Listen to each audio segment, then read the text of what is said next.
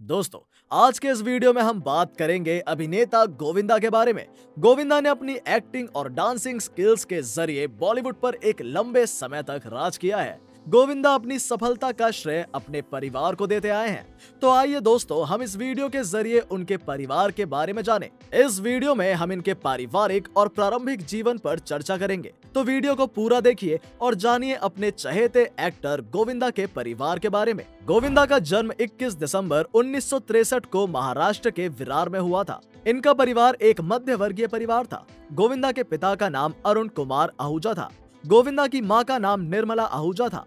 आपको बता दें कि गोविंदा के पिताजी ने भी एक्टिंग में अपना करियर बनाया था पर एक अच्छा करियर नहीं होने के कारण अरुण कुमार आहूजा को काफ़ी संघर्ष करना पड़ा था जिसके चलते एक्टर गोविंदा का बचपन काफ़ी तकलीफों में गुजरा।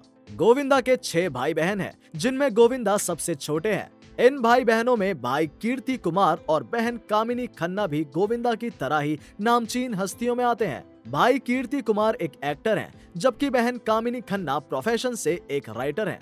इनके बाकी सिबलिंग्स के बारे में अधिक जानकारियाँ उपलब्ध नहीं है बात गोविंदा की शादीशुदा ज़िंदगी की करें तो इनकी शादी उन्नीस सौ सतासी में सुनीता आहूजा से हुई थी। गोविंदा की बेटी का नाम टीना आहूजा है, जिन्होंने फ़िल्मों में कदम साल 2015 में रखा था। इनके साथ ही गोविंदा के बेटे यशवर्धन आहूजा भी फ़िल्मों में कदम रखने की तैयारी कर रहे हैं।